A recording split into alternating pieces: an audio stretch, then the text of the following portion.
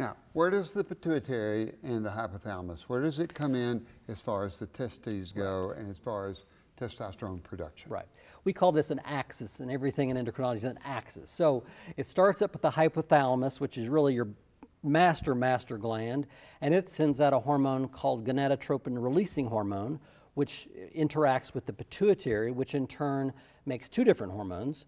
One's called LH or luteinizing hormone. The second is called FSH or follicle stimulating hormone.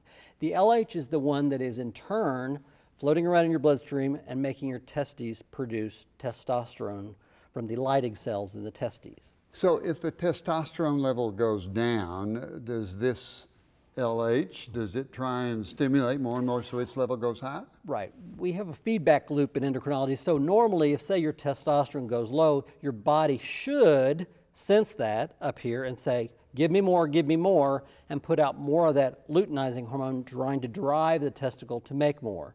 So if testosterone goes down, the LH should be elevated, but many times it is not, and there's problems up here. Okay, so you'll have pituitary problems then Correct. that aren't driving Correct. the production of the testosterone. Right. Is it easier to figure out what's what? Is the treatment the same?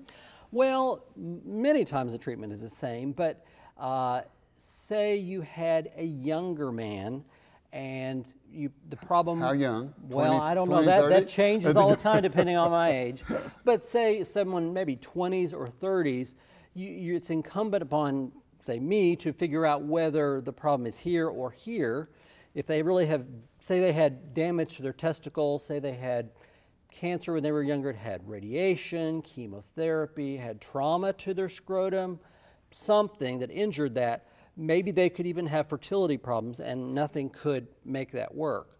Uh, if they have a problem up here, we can give them hormones that simulate their own luteinizing hormone and follicle stimulating hormone to, to help preserve fertility. Say they had low sperm count, low testosterone, you can make that go up by certain hormones.